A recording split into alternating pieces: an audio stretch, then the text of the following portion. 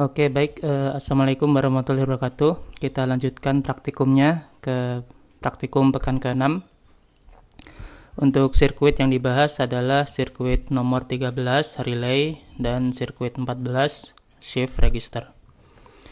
Oke, kita bahas dulu yang relay. Oke, jadi relay yang ini kotak ini ada 5 pin. Nah, untuk uh, mengontrol relay, jadi relay ini seperti saklar ya, saklar otomatis. Jadi untuk kontrolnya kita berikan uh, arus ke coil ini, ke kumparan.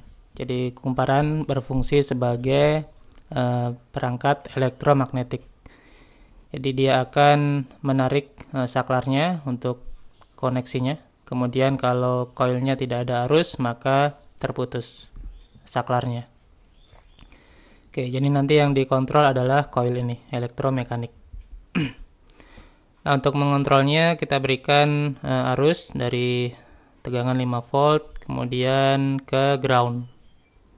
Nah, untuk on off-nya ini nggak bisa langsung dari ground ke suatu pin di Arduino atau dari 5 volt ke suatu pin di Arduino karena uh, arusnya terbatas untuk dari pin Arduino jadi kita pakai langsung dari 5 volt ke ground nih. Kemudian untuk kontrolnya on off nya dari Arduino melalui transistor dulu. Nah ini saklar juga nih. Oke. Nah kenapa kita pakai relay? Nah, relay ini dipakai untuk mengontrol suatu uh, saklar ya dengan tegangan yang berbeda. Di sini karena kita cuma pakai Arduino nih tegangannya 5 volt nih Sebenarnya relay ini dipakai untuk mengontrol perangkat yang tegangannya lebih tinggi. Misalnya kita ingin mengontrol lampu, lampu rumah itu kan pakai listrik PLN uh, AC 220 volt. Nah kita pakai relay, nggak bisa langsung dicolokkan ke Arduino karena beda voltase, kemudian beda AC DC-nya, tipe arusnya. Baik, uh, untuk relaynya di sini ada uh, coil yang dikontrol oleh Arduino melalui transistor. Jadi ke positif, negatif coilnya. Kemudian di sini ada dioda untuk melindungi sirkuit. Jadi coil ini kalau diberikan arus akan menyimpan energi magnet, kan ini elektromagnetik, menyimpan energi magnet yang akan menarik saklar di sini di relaynya jadi terkoneksi. Nah, jika tidak ada dioda, jika diputus arusnya, maka energi magnet yang di coil akan diubah lagi menjadi uh, arus listrik, menjadi voltase yang tinggi. Karena voltasenya tinggi, nanti dia bisa merusak saklar yang di transistor nih. Bisa lompat ya. Untuk itu diberikan uh, flyback nih, dioda flyback. Jadi arusnya akan muter di sini. Nah, muter di sini terus sampai uh, habis. Habisnya dia akan diubah ke energi panas. Jadi diodanya nggak panas ini nanti. Oke, itu untuk pelindungnya. Kalau nggak pakai dioda bisa, tapi nanti akan uh, jika diputus akan muncul percikan di sini di transistornya. Karena tegangannya tinggi dari coil ini. Kemudian itu yang untuk kontrolnya. Jadi ada coil untuk mengontrol saklar yang di dalam relay. Nah, di relay sendiri ada uh, saklarnya. Ini tipenya adalah single pole ini, pole-nya. Uh, dia bisa on off. Kemudian uh, double throw. Jadi bisa on, bisa off. Nah, ini saklarnya nih. Terus saklarnya terhubung ke COM, ini ground, common uh, bisa 5 volt bisa ground sih pokoknya common kemudian bisa on bisa off yang NO ini norm normally open jadi jika kita ingin ini perangkatnya nih ya misalnya perangkatnya jika relaynya tidak diaktifkan itu terputus maka sambungkan ke NO normally open misalnya eh, perangkatnya berupa pompa pompa air Nah, pompa air kan biasanya kan lebih banyak mati. Nah, tergantung pompanya ya. Uh, misalnya lebih banyak mati, Nah, dia akan diaktifkan kalau ada kondisi tertentu. Maka dikoneksi ke normally open. Karena saklarnya uh, pompanya lebih banyak mati. Kalau disambungkan ke NC normally connected, maka uh, relaynya akan kerja terus nih dalam jangka waktu yang lama. Ini akan memperpendek umurnya. Jadi ini tergantung penggunaan. Apakah perangkatnya normally open, biasanya mati, kemudian nyala sebentar, mati lagi, itu taruh di NO nih. Kalau perangkatnya eh, biasanya hidup, terus suatu saat dia akan mati sebentar, terus hidup lagi, taruh di NC, normally connected. Ini yang normal nih. Jadi kalau eh, relaynya tidak diaktifkan, maka yang NC akan terhubung normally connected, yang NO akan terputus, normally open. Kalau yang relaynya diaktifkan, maka kebalikannya. Yang NO akan tersambung, yang NC akan terputus. Nah, ini tergantung penggunaan perangkatnya. Contohnya apa? Contohnya misalnya lampu otomatis. Nah, misalnya kita pasang di mana nih? Misalnya di toilet biar kalau ada orang masuk nyala sendiri. Nah, itu kan lampunya kan normally uh, open nih jadi dalam jangka waktu yang lama dia akan uh, mati kecuali kalau ada orang masuk maka lampunya dihubungkan ke yang pin NO ini normally open. Baru kalau ada orang masuk uh, diaktifkan relaynya akan uh, nyala lampunya. Begitu. Nah, ini tergantung penggunaan apakah disambungkan ke NO atau NC Oke, jadi yang COM, NO, NC ini terhubung ke voltase yang lebih tinggi, misalnya listrik rumah 220 volt, kemudian koilnya terhubung ke voltasenya Arduino yang ini 5 volt nih. Terus transistor ini pakai yang N, NPN yang negatif, jadi emitternya terhubung ke ground. Oke. Ini rangkaiannya. Eh, silakan dibuat di Tinkercad ini kita lebih fokus di rangkaiannya nih bagaimana cara merangkai relay. Untuk codingannya nah, biasa saja nih. Nah, codingannya tuh cuma di pin 2 nih on atau off saja. Pin 2 nggak bisa langsung ke relay karena yang coil ini butuh harus yang besar jadi untuk tiap pin itu cuma 20 mA kalau tidak salah. Jadi tidak bisa untuk mengaktifkan relaynya. Harus pakai uh, arus langsung dari 5 volt kemudian untuk kontrolnya pakai transistor oke kita lihat langsung di Tinkercad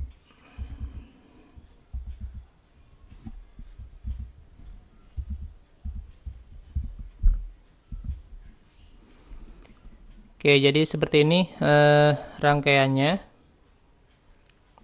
Ini relaynya. Saya singkirkan dulu. Di relaynya yang sini commonnya, common. Ini terhubung ke 5 volt. Kasih resistor karena kita mau mengaktifkan LED. Kemudian yang ke bawah ini yang normally close. Yang pin ini normally close ya yang terminal 7 nih normally close ini terminalnya nggak urut ya jadi yang ini itu yang common terminal 1 dan 2 1 eh, dan 12 ini common semuanya terhubung ke sini kemudian yang eh, terminal nomor nah ini nggak kelihatan 6 dan 7 yang 6 ini yang normally open yang atas nih. Nah, saya zoom lagi. Ini pin 6 Terus yang pin 7 ini yang normally close. Jadi jika relaynya tidak diaktifkan, itu ini otomatis terhubung dari terminal 7 ke terminal 1 atau 12. Kemudian untuk kontrolnya yang di pin nomor eh, 5 dan 8 nih. Nah, ini yang untuk mengontrol koilnya. Nah, nanti kalau dihidupkan, itu koilnya akan menjadi elektromagnet. Nanti saklarnya akan ketarik ke yang atas. Begitu untuk relay. Nah di sini relay bisa dipakai sesuai speknya nih. Bisa dipakai di arus AC 125 volt kalau di kita kan pakai 220 volt nanti cari relay yang 220 atau lebih tinggi. Terus ini batas uh, maksimum arusnya. Jadi ini bisa mengontrol uh, perangkat yang lebih uh, berat. Kemudian untuk DC juga bisa 24 volt maksimum 3 ampere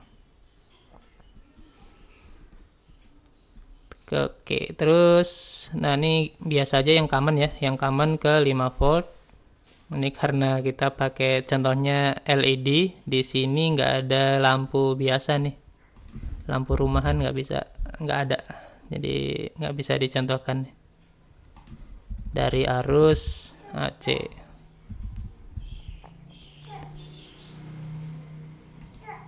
Nah, untuk penggunanya sendiri untuk relay biasanya untuk mengontrol uh, tadi untuk mengontrol perangkat di yang di rumah yang biasa. Kemudian eh, nanti untuk LED-nya yang atas nih yang normally open, yang bawah yang normally close. Ini langsung dihubungkan ke pin relaynya nih ya. Langsung colokin ke sini. Takutnya nih nggak nyolok ke breadboard nih. Nah, ini juga kalau kabel-kabel juga langsung colokin ke terminal relaynya. Oke, kemudian untuk kontrolnya dari Arduino itu di pin 2. Ini. Pin 2 akan mengontrol transistor. Ini saklar juga nih, tapi untuk power yang lebih kecil. On atau off. Kalau on berarti uh, arusnya ngalir dari ini 5 volt mengaktifkan coil kemudian ini ke ground. Nyambung ke ground. Kalau yang pin 2 nya high. Kalau pin 2 nya low berarti dari transistor ini terputus nih. Jadi dari 5 volt kemudian ke transistor nah ini di sini terputus. Nah saat terputus itu eh, ada tegangan yang tinggi karena dari coil ini menyimpan energi magnet Nah, supaya tidak merusak transistor, maka diberikan dioda. Jadi arusnya ke sini. Muter-muter di sini dulu sampai habis. Udah. Jadi nggak mengganggu uh, transistor. Kenapa dia ke dioda? Karena resistansi diodanya ini lebih kecil daripada saklar di sini. Jadi saklar kalau terputus itu resistannya tinggi. Jadi ada gap uh, udara. Kalau nggak ada dioda di sini, maka tegangannya mau nggak mau akan lompat ke gap udara tersebut. Nah, tegangan tinggi. Nah, tegangan tinggi ini merusak uh, transistor. Oke, oleh karena itu diberikan dioda flyback agar arusnya eh, muter-muter di sini sampai habis. Oke, itu untuk rangkaiannya. Untuk kodenya sederhana. Relay, ini cuma pin 2 kemudian ada delay satu detik oke untuk relay ini jangan terlalu uh, cepat di switch on off on off karena akan membuat cepat rusak karena dia berbasis pada komponen elektromekanis yang coil tadi ini tinggal high, low, high, low dan seterusnya. Kalau high berarti yang nyala yang atas, harusnya yang pertama yang atas dulu. Karena uh, relaynya aktif. Terus kalau low berarti relaynya uh, mati. Berarti dia yang bawah yang nyala. Normally open eh normally close yang bawah nih. Ini nggak ada keterangannya sih. Normally open atau normally close dari sini gambarnya nih. Nanti setelah di start silakan dilihat nih gambarnya akan berubah sesuai dengan kondisinya. Eh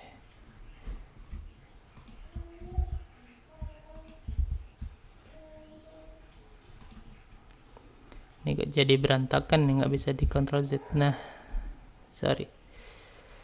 Oke ini saya zoom di relaynya terus kodenya. Ini kodenya nggak ada yang baru.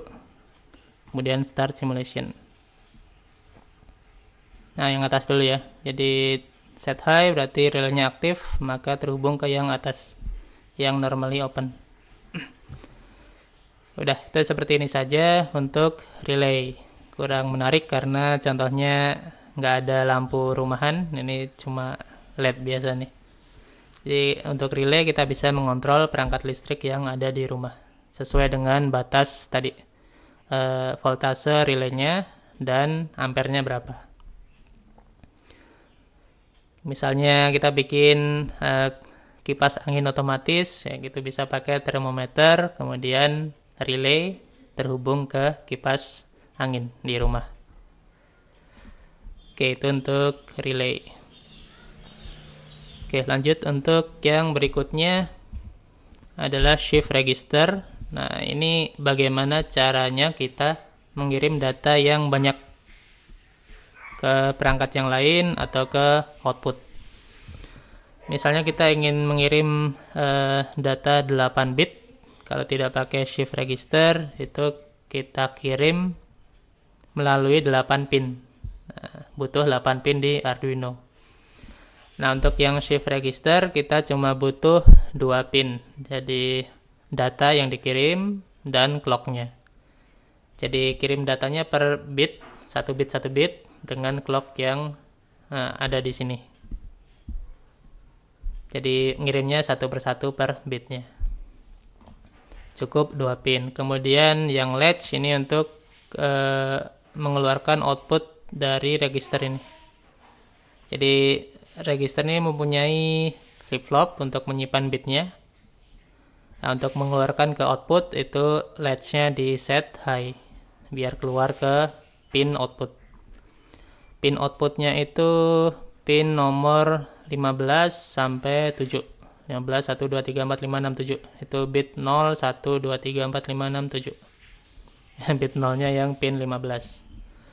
Kemudian ini IC-nya ada 16 pin, biasa nih seperti IC pada umumnya untuk power yang pin paling belakang pin 16, untuk ground pin nomor 8.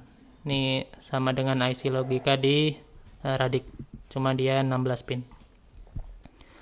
Kemudian pin kontrol yang lain, uh, ini nanti ada pin 13 itu untuk output enable. Nih dilihat di sini Nah, ini aktifnya low, berarti hubungkan ke ground, output enable, supaya bisa output ke pin output tentunya.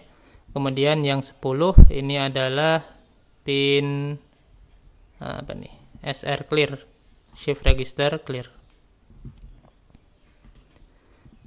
Jadi eh, tiap kita mau nulis di clear dulu nih, sepertinya nih. Yang pin 10. Jadi aktif low kita set uh, high biar clear eh kebalik ya ini active low kita set high supaya tidak di clear uh, isi registernya oke okay. kemudian udah itu saja untuk IC nya di sini 74595 uh, cari saja di Tinkercad ada nih. Uh, shift register. Nah nih. 74595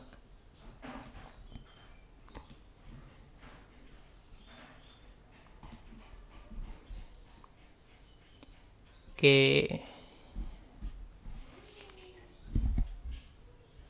untuk shift registernya 8 bit jadi bisa mengontrol uh, outputnya 8 LED ini 8 bit ya 15 1 2 3 4 5 6 7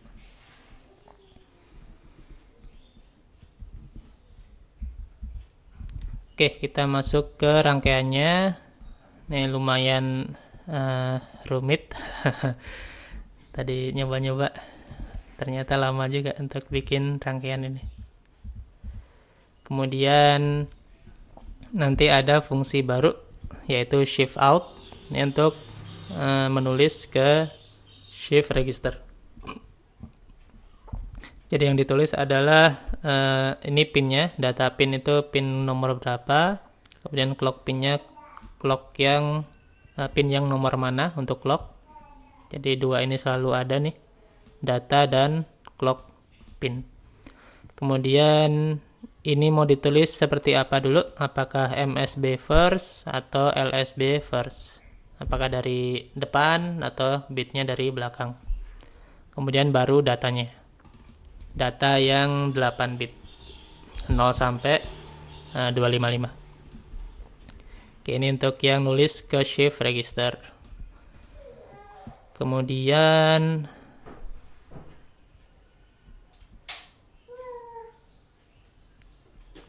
ini untuk menulis uh, bit, bit write. Jadi datanya yang mana, kemudian pinnya mana, kemudian state-nya apa. Ini untuk menulis satu bit saja nih, bit write.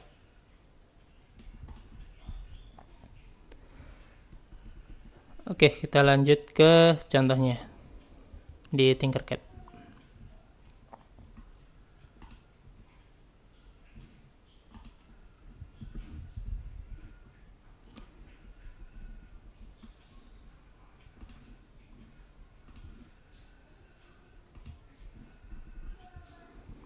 Oke, dari Arduino-nya kita pakai 5 volt, kemudian ground, lalu pin 2 ini sebagai data masuk ke input. Kemudian pin 3 ini sebagai clock shift register clock. Pin 4 ini nanti output register clock ini latch-nya nih. Jadi kalau ingin outputnya nyala itu harus di clocknya diaktifkan maksudnya dari low ke high atau sebaliknya dari high ke low. Nanti tergantung clocknya aktifnya low atau high. Terus uh, udah itu aja. Jadi datanya pin 2 kemudian pin 3 ini untuk clock input ke shift register dan pin 4 untuk clocknya output. Untuk clock output kita set sekali aja. Jadi high ke low atau sebaliknya dan apa lagi nih? Udah terus outputnya pin 15 sampai 7 ini agak uh, ribet nih ya. Output 1 pin, pin 15 nih led 1 terus output 2 pin 1 dan seterusnya nih. Ini output semua nih. Terus untuk power pin 8 ke ground pin 16 ke 5 volt. Kemudian output enable di enable ini active low berarti hubungkan ke ground. Kemudian shift register clear di disable ini active low maka hubungkan ke 5 volt. Oke kemudian untuk kodenya.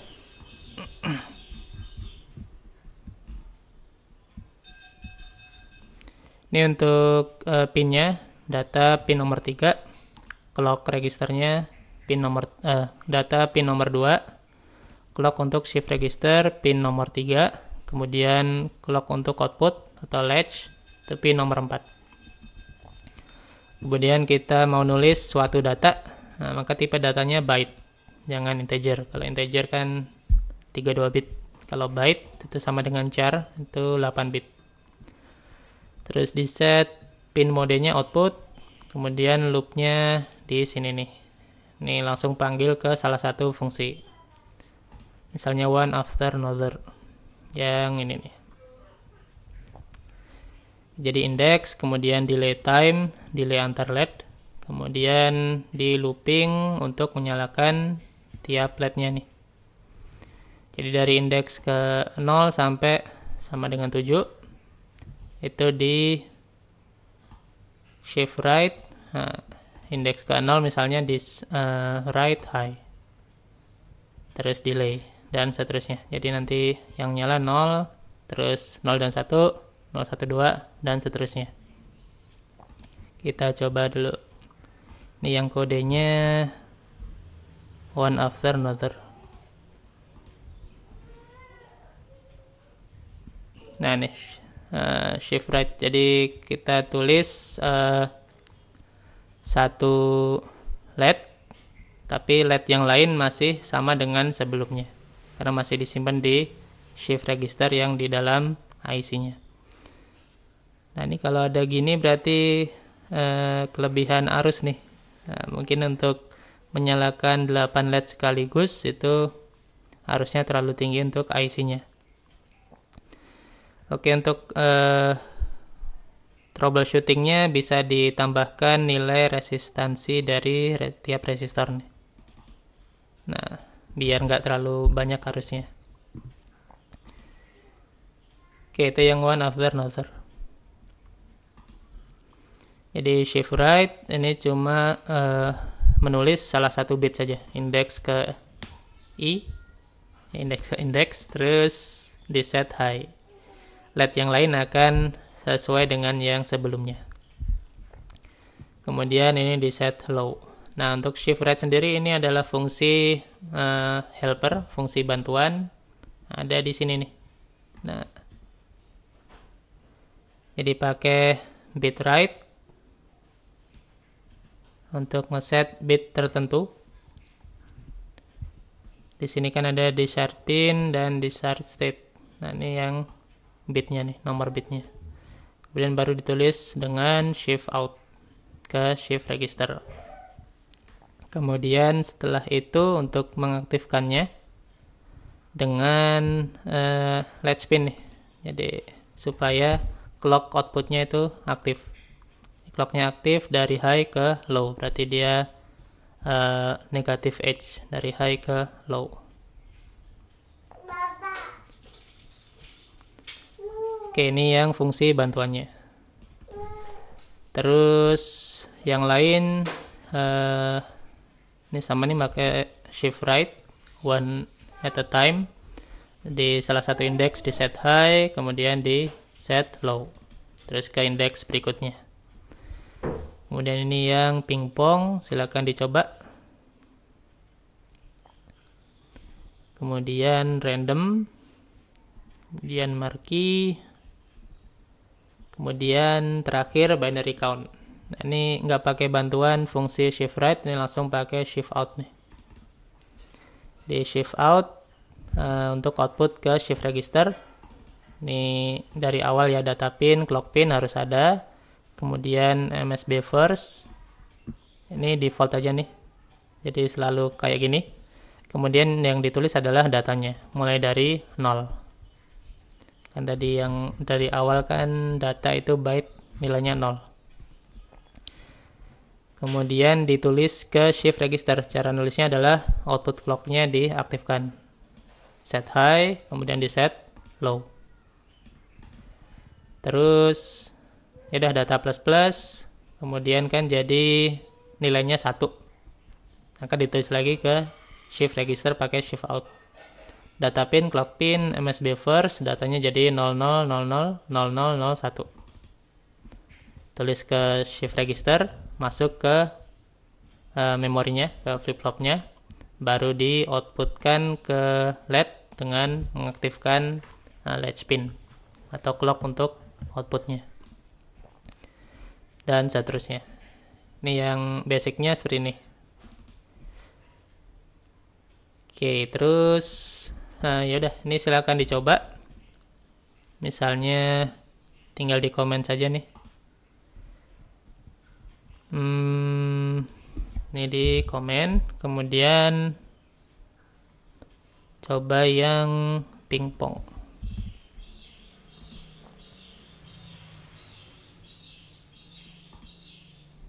Nah ini yang pingpong nih. Kalau pingpong nggak masalah nih, IC-nya masih kuat nih. Karena cuma satu LED yang menyala dalam satu waktu.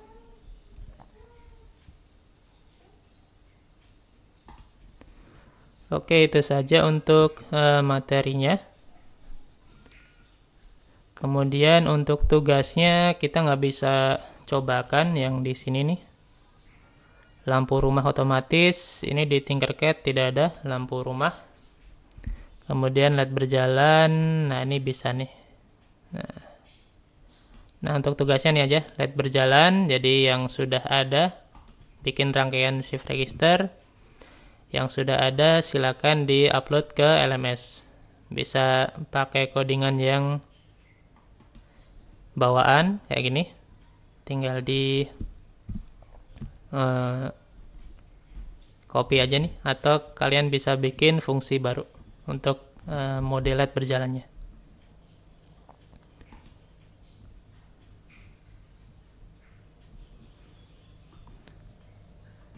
Oke itu saja nanti saya siapkan di LMS untuk pengumpulan tugasnya uh, jika ada pertanyaan silahkan ditanyakan di grup WA uh, selama sesi praktikum atau selama hari ini saya layani jika ada waktu uh, untuk materinya sampai sini. Terima kasih. Assalamualaikum warahmatullahi wabarakatuh.